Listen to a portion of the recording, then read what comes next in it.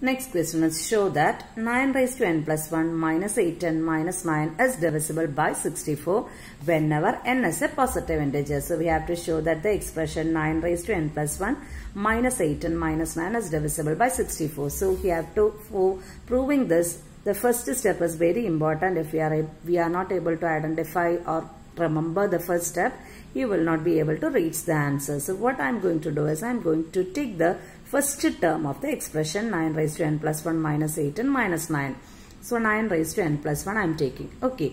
I am going to apply binomial theorem. To apply binomial theorem I, I need two terms. So I am going to split 9 into two terms as a sum of two terms with the condition one term must be a multiple or a factor of 64. One term we will take it as a factor of 64. So how can I split? I can write 8, 9 as 1 plus 8. Instead of 9, I wrote, I wrote as 1 plus 8. So that 9 is a factor of 64. Whole raised to n plus 1. So now it is of the form a plus b the whole raised to n plus 1 where a is equal to 1, b is equal to 8 and then here it is n plus 1. Okay. So if I apply binomial theorem 9 raised to n plus 1 is equal to 1 plus 8 raised to n plus 1 will be equal to a raised to n. a raised to n is 1 raised to n plus 1. Here n is n plus 1 plus nc1. nc1 is n plus 1 c1. a raised to n minus 1. We have to subtract this power by 1 isn't it? So it is n plus 1 minus 1 into we have to add a b.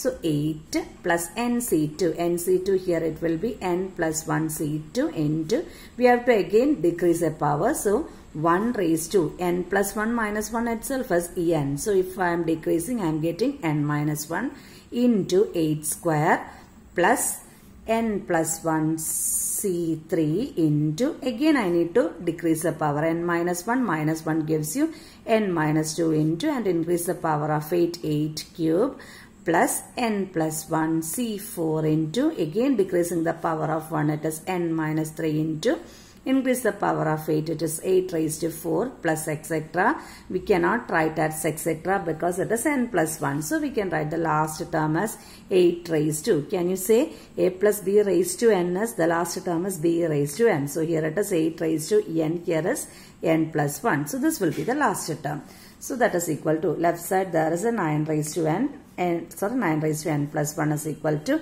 1 raised to any power will give you the value 1 plus n plus 1 c1 we have the formula n c1 is equal to n.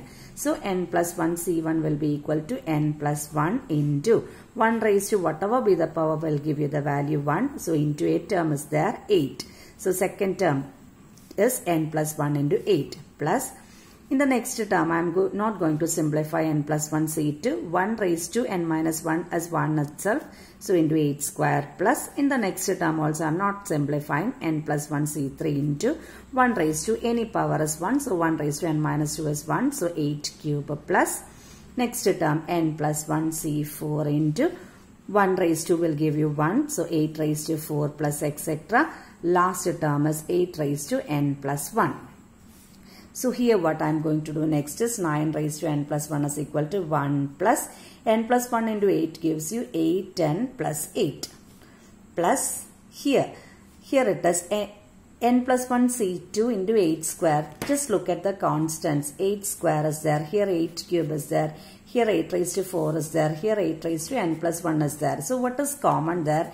8 square so I am taking 8 square outside from the balance term. From this term onwards I am taking 8 square outside. So the balance will be n plus 1 c2 from this term plus the next term is n plus 1 c3 into 8 8 cube is there. So 8 square came out and balance 1 8 is there plus n plus 1 c4 here 8 raised to 4 is there. 8 square came out. So the balance 8 square plus etc this term from this term 8 square came out. So if I need to calculate what should I do? 8 raised to n plus 1 here from 3 I got 1 how I got 3 minus 2 give you 1 isn't it same way? Just subtract 2 from n plus 1 so n plus 1 minus 2 gives you 8 raised to n minus 1 if you are not able to identify the term just put etc it's not a problem. Okay. That is equal to here there are two constants 1 and 8 it gives you 9 so we can write the term as 8 10 plus 9 plus bracketed term is multiplied by 8 square. So if I have a term 7 into xy I can say that it is divisible by 7 isn't it? Whatever the value of x and y is we can say that this expression is divisible by 7 or I can write this will be a multiple of 7 divisible by 7 and multiple of 7 both are same. So 7xy is a multiple of 7 same way 8 square into this much expression is divisible by 8 square. 8 square is 64 8 square into the bracketed term is divisible by 64. Instead of is divisible by 64, I can write the bracketed term. That means from here till the last term, it will be a multiple of 64. Okay, so 9 raised to n plus 1 is equal to 8 10 plus 9 plus m64. m64 means it is a multiple of 64. 8 square into some term is there. Since 8 square is there, we can say that the full expression is divisible by 64. Instead of us divisible by 64, we can say that multiple of 64.